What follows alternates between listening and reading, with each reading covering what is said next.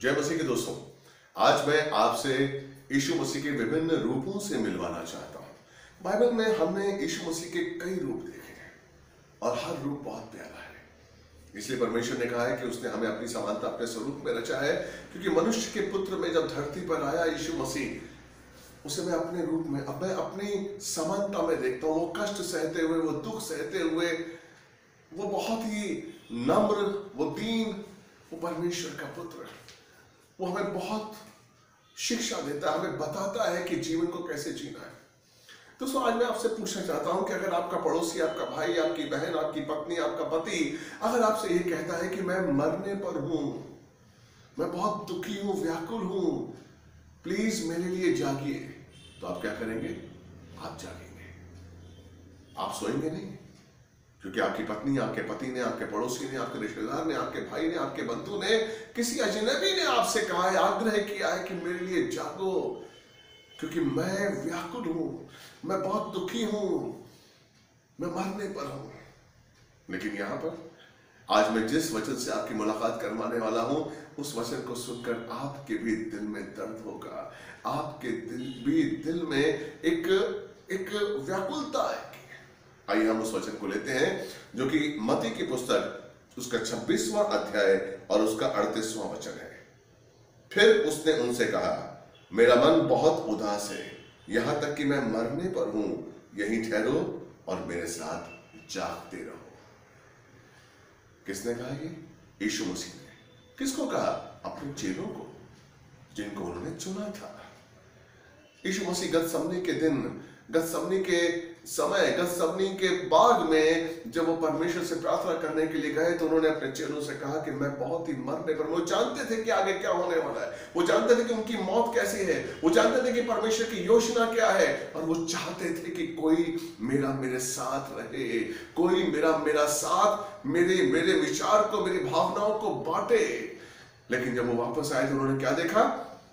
चेले सो रहे दोस्तों, परमेश्वर ने हमको यीशु मसीह के लिए इस धरती पर भेजा है। परमेश्वर ने हमको यीशु मसीह के लिए इस धरती पर संसार से अलग किया है। हम ये ना भूले, चेले भूल गए थे, चेले शरीर का सुख ले रहे थे, उनको नींद आ गई थी। दोस्तों, आज हमारे भी यही हालत है। हमको परमेश्वर ने हमारी आत्मा को ज़िंदा किया है, अपनी आत्मा को उड़ेला है, हमें नया मन दिया है, पत्थर का हृदय निकाल कर मांस का हृदय डाला है, लेकिन फिर भी हम संसार के हैं।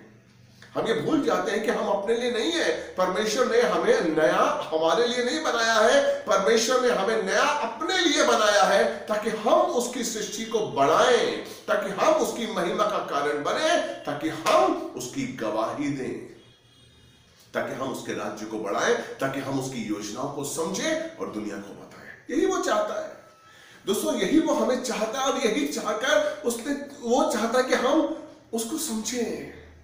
लेकिन दोस्तों, आज वो कह रहा है, हम अपनी मिनिस्ट्री को समझ रहे हैं, हम अपने आप को समझ रहे हैं, हम अपने अपने व्यापार, अपने धंधे को समझने की कोशिश कर रहे हैं, लेकिन हम यीशु मसीह को नहीं समझ रहे हैं, उसके दर्द को नहीं समझ रहे हैं। आज भी वो कहता है, मेरे बच्चों, मेरे दर्द को समझो, मैं व्याकुल हूँ, मैं धरती पर आना चाहता हूँ, मैं धरती पर आकर अपनी योजनाओं को पूरा करना चाहता हूँ, लेकिन मेरे बच्चों, मेरा साथ दो, मेरा साथ दो, जिस चीज़ के मैंने तुम्हें चुना है, उठो। उठो और सुसमाचार सुनाओ, उठो और दुनिया के कोने कोने में जाओ और बताओ कि मैं क्या चाहता हूँ। बताओ मेरी योजना क्या है। बताओ कि मैंने तुम्हें नई सृष्टि में क्यों बनाया है। बताओ कि मैंने तुम्हें अपनी आत्मा क्यों दी है। बताओ कि वो वक्त नज़दीक है। बताओ कि तुम किस लिए चुने गए हो। बहुत ज़रूरी है। हमारा यही काम है। हमारा यही काम है मेरे भाई, मेरी बहन। हमारा यही काम है। इसलिए हमें उसके संग जाना है। हमें उसके संग जानना जानना है, हमें प्रार्थना करनी है और हमें उसके वचन को लेकर दुनिया के कोने कोने तक जाना है। हमें सोना नहीं है, हमें आराम नहीं करना है, हमें अपने शरीर के लिए नहीं जीना है, हमें यीशु के लिए जीना है। दोस्तों, आइए आज हम अहद करें।